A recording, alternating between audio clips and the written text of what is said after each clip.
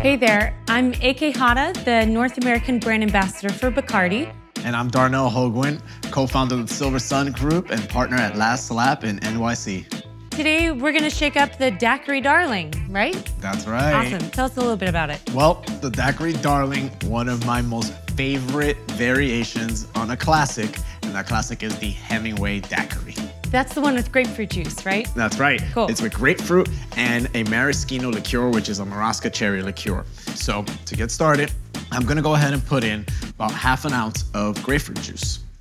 You wanna squeeze them fresh. Okay, good to know. Yep. And next, you wanna do three quarters of a part of lime juice. Cool.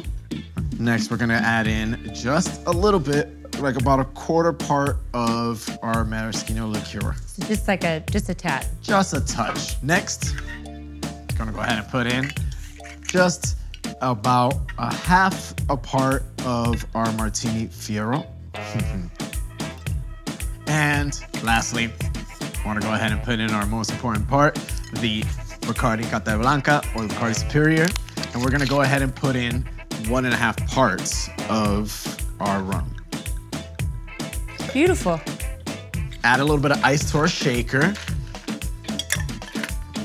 And when you're shaking, another important part is you wanna make sure that you're putting on your best smile. Nice. Straighten that out. What a gorgeous color. Yeah, look at that. To garnish, I'm gonna go ahead and flag my lime wheel onto the glass like that. Looks perfect. Isn't that nice? yeah. All right, I'm gonna try. Okay, uh, I'm gonna do mine more like a classic daiquiri. Okay. Um, so I did make at home a simple syrup, just equal Love that. parts sugar, water, it's syrup that's simple. and I'm gonna go with half an ounce.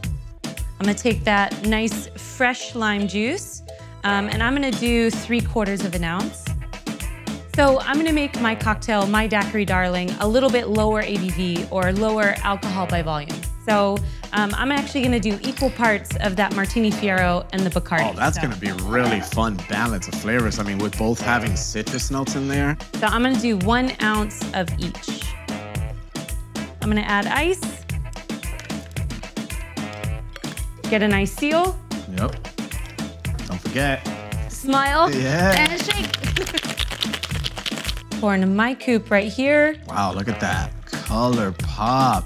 And I feel like this is gonna be great to make if you have friends over, if you're sharing the day with people you love. Uh, I'm gonna Super put fun. mine right on top, so a little different. The Daiquiri Darling. Cheers, Darnell. Cheers. And if you wanna check out more Valentine's Day cocktails, we've got them at the link below.